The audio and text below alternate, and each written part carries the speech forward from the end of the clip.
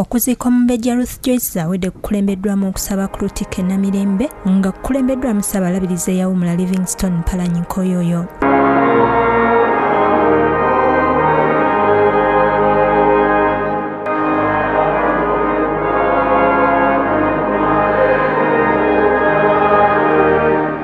abakungu mu biti ebyenjawulo mubadde aba gavumenti eyawakati ey'emmengo bannabyabufuzi abagagga bakwagalala n'abalala beetabye mu kusaba kuno nga ne maama n'abagereka akwetabyeko.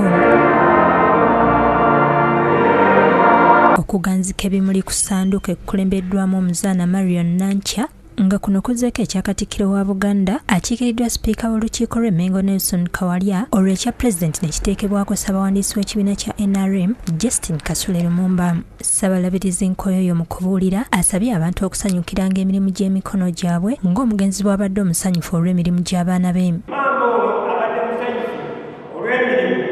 Maama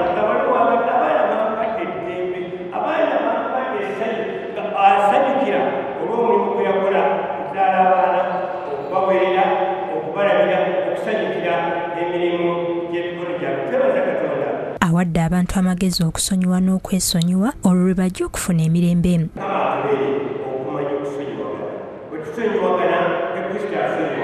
Gasita lulentake yasomye obubaka bw'ekibiina kyakwagalana group era nga bano basaasidde ssentebe waabwe ne bamugomya okubeera naye mu mbeera yonna. Nga bakwagalana tukoze kyonna kye tuwulira nga tusobola okukola ku maama wa chairman nga tetwerekeddeemu era tujja kumaliriza byonna ebinaaba bisigadde maama mukama amuwa ekyemirembe. Abaana b'omugenzi abakulembeddwamu godfrey kirumira boogedde ku nnyabwe ng'omuntu abadde abakumaakuma kyokka ne beebaza abantu bonna okubakwasizaako okuva omugenzi bwe yava mu bulamu bw'ensi eno tutulumiziddwa nabo mutulisiza tukyalya nga bwetulikozesaae mutuwadde buli kimu sente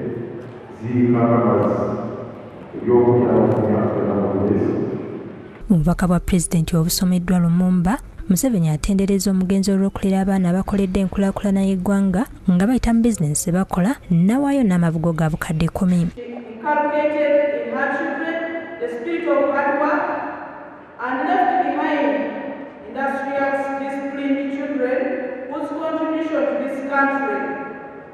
is enormous. And he has sent again contribution of 10 million shillings to this industrious family. ku ssaawa 12:45 omubiri gw'omugenzi gugalamiziddwa mu nnyumba ye ey'oluberera e busega okuliraana eyali bba eno abantu batono abakkiriziddwa okutuuka ku ntaana olw'okwewala okutaataaganyizibwa julius kafuluma yakusakidde eggulye lino crowked tv 1